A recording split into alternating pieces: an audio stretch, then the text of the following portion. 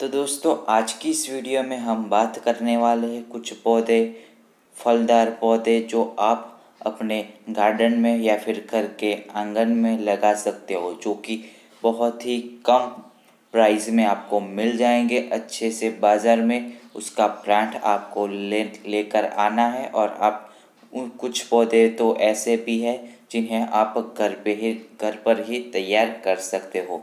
तो चलिए इस वाली बारिश में लगाना ज़रूर। कौन कौन से पौधे हैं? चलिए बता देता हूँ आपको। तो चलिए वीडियो की तरफ़। अगर फलों की बात कर रहे हैं तो फिर आम को कैसे छोड़ सकते जो कि है फलों का राजा।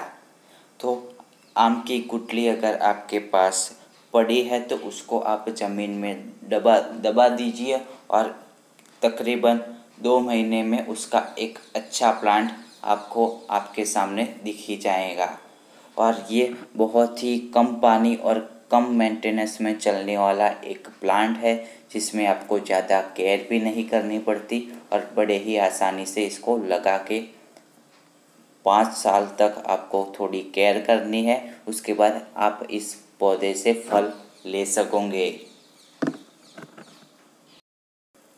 अगर आपको कुछ नॉलेज नहीं है इस इसको कैसे लगाना है, कैसे क्या करना है तो आप हमें कमेंट में पूछ सकते हो। बिंदास, हम जो भी आज फल दिखाने वाले हैं, इस बारिश के मौसम में आप लगा सकते हो।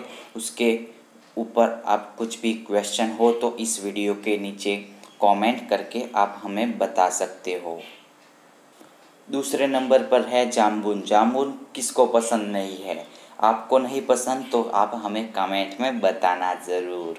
तो जामुन का पौधा आप जामुन जो भी बाज़ार में मिलता है, उसको दो तीन सीड्स आपके मुँह में से निकाल के ज़मीन में दबा दबा डालिए और कुछ ही दिनों में प्लांट आपका खड़ा हो जाएगा। उसको बाद उसके बाद आपको दस साल की वेट करनी पड़ेगी। उसके बाद आपको फल मिलेंगे। तकरीबन पाँच से सात साल तक आपको रखना पड़ेगा, उसके बाद आपको फल मिलेंगे, लेकिन फल मिलेंगे ज़रूर।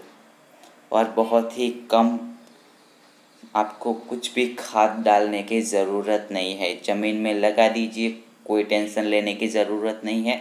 पौधा अपने आप बड़ा होता रहेगा और फल आते रहेंगे। तो तीसरा प्लांट है सीताफल का। ये भी आप बड़े ही आसानी से आप बाज़ार में ख़रीद के आइए, उसके सीड्स आपके घर के आँगन में दबा दीजिए ज़मीन में और कुछ ही तकरीबन पंद्रह से बीस दिन में आपका छोटा प्लांट तैयार हो जाएगा। और अगर आप इसकी पाँच साल अच्छे से केयर करते हो तो कुछ इस तरीके का प्लांट बन जाएगा। उसके बाद आप इस पौधे से सीताफल को हार्वेस्ट कर पाएँगे। ये भी बहुत ही कम मेंटेनेंस में चलने वाला पौधा है।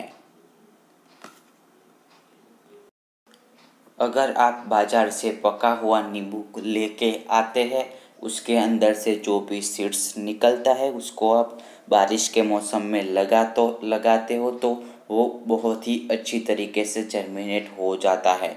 नींबू के पौधे पर फल आना पाँच साल के बाद शुरू होते हैं तो आप अभी लगा दीजिए और वेट कीजिए पाँच साल के बाद और आपको नींबू मिल जाएँगे। अगर आपको जानना है कि बर्ड क्राफ्टिंग नींबू के पौधे पर कैसे की जाती है, उसके वीडियो का लिंक आपको इस वीडियो के डिस्क्रिप्शन में मिल जाएगा।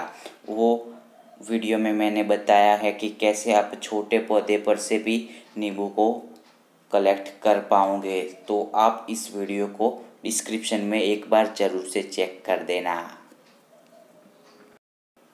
अगर आपके घर के आँगन में या फिर घर के पड़ोसियों के पास पपीते का पौधा है तो वहाँ से आप सीड्स को ले आइए और आपके जमी पर डाल दीजिए। तो कुछ ही दिनों में आपके साथ, आपके सामने एक पौधा दिख जाएगा, जो कि होगा पपीता का। ये भी बहुत ही लो मेंटेनेंस में चलने वाला प्लांट है, जो आप इस बारिश के मौसम में बिल्कुल ही लगा सकते हो। तो दोस्तों, जो भी आपको अब मैं दो प्लांट बताने वाला हूँ, वो आप सीट से थोड़ा सा कॉम्प्लिकेटेड होगा, उसको बड़ा करना तो फिर आपको डायरेक्ट नर्सरी पर पहुँचना है अभी, और नर्सरी से लेके ये अनार का पौधा वो भी बहुत ही कम मेंटेनेंस में चलने वाला एक पौधा है जो कि आप अपने घर के आँगन में लगा सकते हो। और दोस्तों जो भी लास्ट वाला पौधा है वो चीकू का है।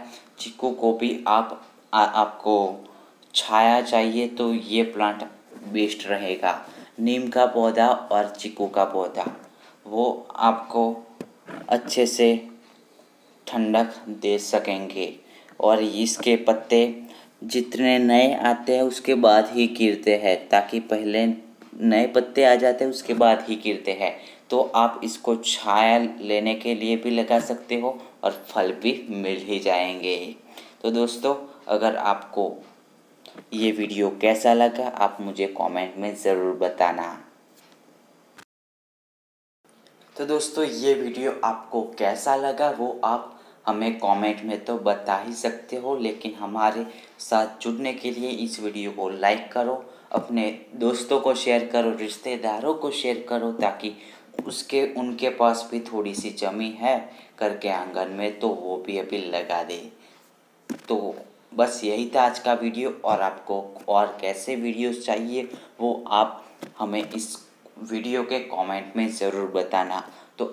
मैं मिलता हूँ अगली वीडियो में कुछ और जानकारी के साथ। तब तक के लिए शुक्रिया। हमारे चैनल को सब्सक्राइब करना ना भूलें। तो चलिए मिलते हैं अगली वीडियो में।